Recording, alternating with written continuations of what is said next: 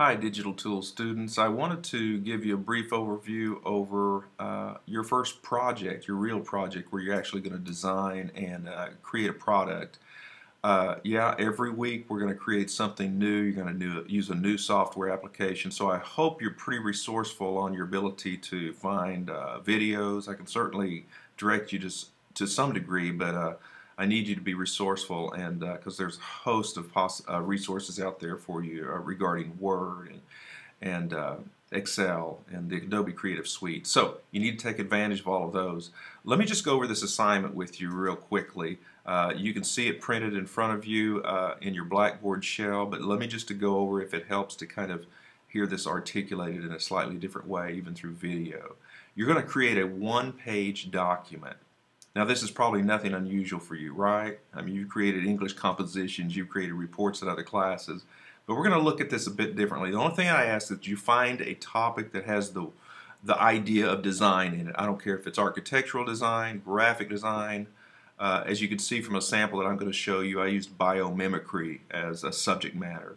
Uh, follow the criteria in your handout or in your uh, assignment sheet. It says specifications. It must be vertical in format and it must be legal size. So you'll go up to your Microsoft Word, you'll create a new document, and it needs to be those two things. Uh, legal size, which is 8.5 by 14, a bit taller, so it's a little more awkward to design for. But it also gives us a little more real estate, if you will, to work with our composition.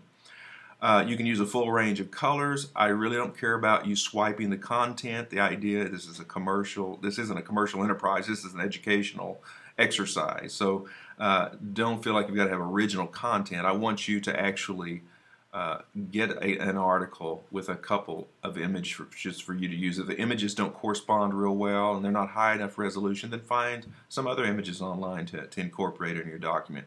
If you don't know how to do any of these, then you really need to get up to speed by watching some tutorials about basic Microsoft Word. I think I provide a link to at least one source, but there's literally thousands plenty of YouTube videos as well. So before I eat up too much more time, let me give you a, a couple of uh, warnings. I want you to avoid the following things. This is also in your project description. I don't want you to use a template. Yeah, you can find templates in Microsoft Word itself. If you want to look at templates and see how they arrange some columns, uh, you can certainly learn a lot by looking at templates, but I don't want you to use one and then to modify it. I want you to kind of build this from scratch. Uh, I don't want you to, as a young designer or a first time considering yourself as a designer per se, I don't want you to uh, err on the side of making too many font selections. I don't care about fancy fonts, if they got curly cues on them, if it looks like Old English, it looks like it was off a Frankenstein movie, that could mean nothing to me. What means something to me is that you're using readable, legible, handsome type, and there's a definite hierarchy. That There's a headline, there's some subheadings, there's body copy, and if you have a photo caption under a photo, then usually that's very small, but it needs to be readable. I would suggest that you use one typeface, maybe use two. Uh, certainly you could color those a bit differently. Uh, don't overuse boxes and lines. Uh, a lot of beginning designers, because that's what these tools do, they make boxes and squares and circles really well. And you can fill them with gradients, you can put drop shadows. That doesn't impress me the, the least little bit because that's just what the machine does. I want you to, now you could use these elements tastefully here and there, but be careful. Those uh, don't necessarily make for a good design.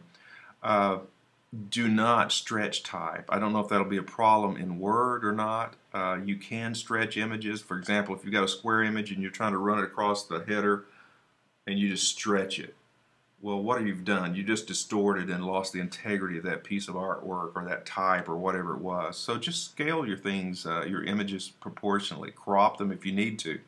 Here again, if you don't know how to crop, Google crop Microsoft Word.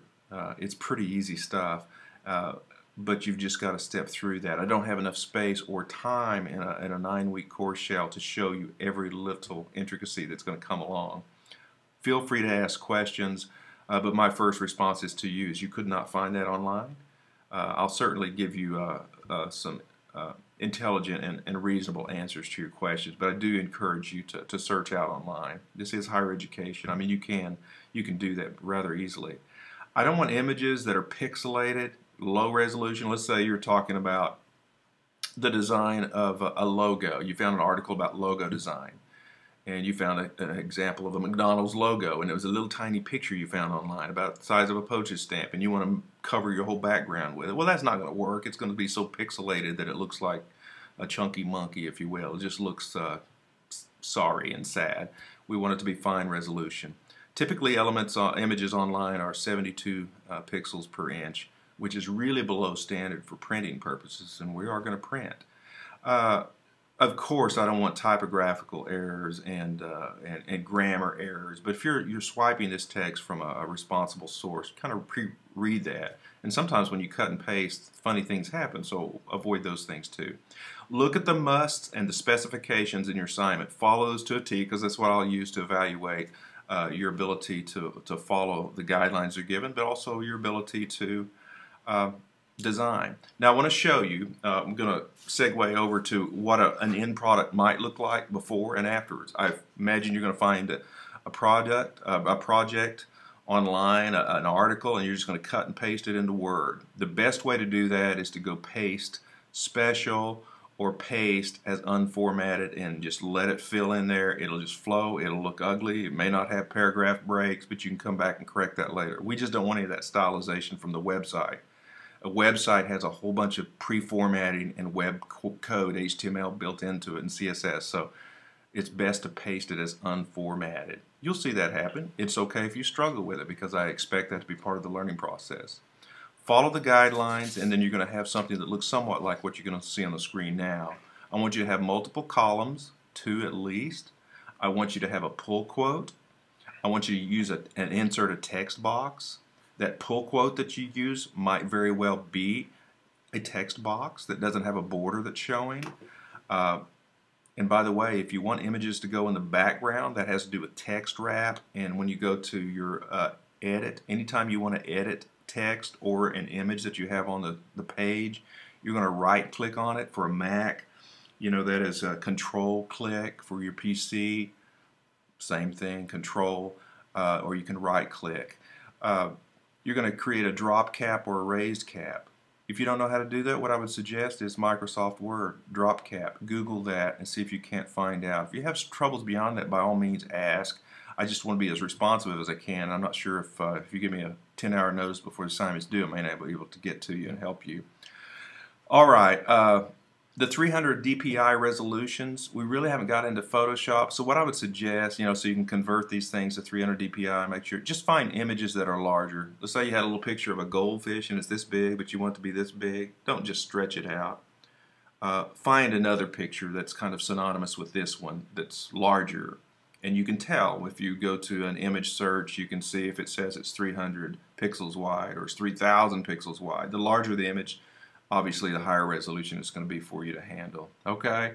Well, good luck with this. By all means, email me with questions, but certainly uh, uh, Google, Google, Google. I hate to just uh, be a, a, supporter, a proponent of that particular brand, but whether you're using Bing or some other search engine, just find yourself uh, resources and YouTubes. And hey, in fact, share those with each other. You certainly can. There's a, place uh, in your discussion mode that you can actually just uh, have private discussions between students if you guys find some in fact, I would love to know if you've got additional resources besides what I provide. All right. Don't forget to, to meet the assignment by the deadline. If you want me to look at something before you turn it in, if you give me ample time, I'd be glad to give you some response. In the end, as always, every week, the following week, we will look back at each other's work and you can kind of critique and see how my critique went. And the idea is that it won't be perfect. The idea is that you will kind of struggle along the way, and then as it gets towards the end of the course, you will get to revisit each one of these assignments let's say for example let's you, you did an average grade on one because maybe it had some typography suggestions or maybe the way you handled some uh, an image could be done more uh, excitingly uh, or aesthetically. Uh, I'll give you that suggestion you know and then you can actually follow that uh, suggestion uh, with a final portfolio. And of that final por portfolio should have plenty of feedback for you to do really really well on. Well good luck and look forward to seeing your work very soon